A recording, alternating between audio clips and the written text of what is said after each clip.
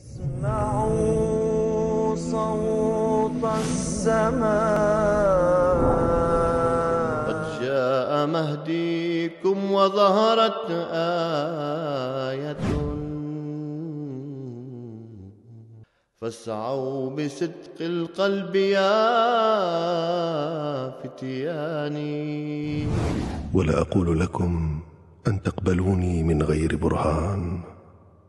وآمنوا بي من غير سلطان. بل أنادي بينكم أن تقوموا لله مقسطين. ثم انظروا إلى ما أنزل الله لي من الآيات والبراهين والشهادات.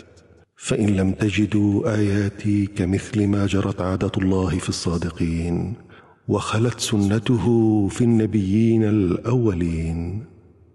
فردوني ولا تقبلوني وإن رأيتم آياتي كآيات خلت في السابقين فمن مقتضى الإيمان أن تقبلوني ولا تمروا عليها معرضين.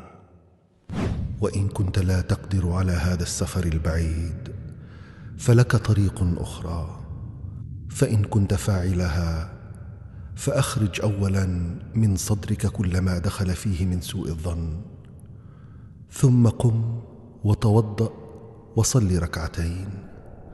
وصل وسلم واستغفر استغفار التائبين. ثم اضطجع مستقبلا على مصلاك. وتخل بمناجاة مولاك. واسأل الله لاستكشاف حالي وحقيقة مقالي. ثم نم قائلا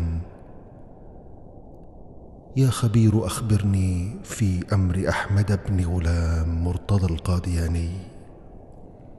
أهو مردود عندك أو